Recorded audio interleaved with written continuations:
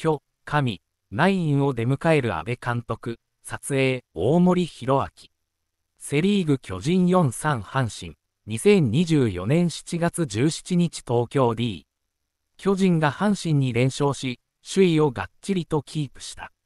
岡本和真内野手、28が5回に今季15度目の勝利打点となる中堅フェンス直撃の敵地二塁打。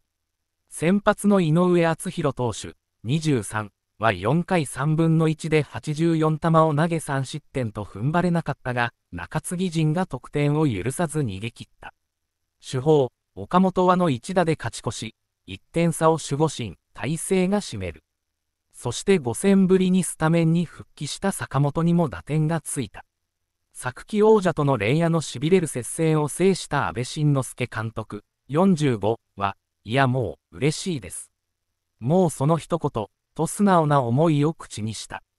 三塁に坂本、一塁に大城拓、そして今季初めて左翼に岡本和を起用する攻撃的な布陣で臨んだ一戦。指揮官は、守備は目をつぶるって言ったんで、その分で、岡本が打ってくれたんで、まあ違う景色でたまにはいいかなと笑顔で試合を振り返った。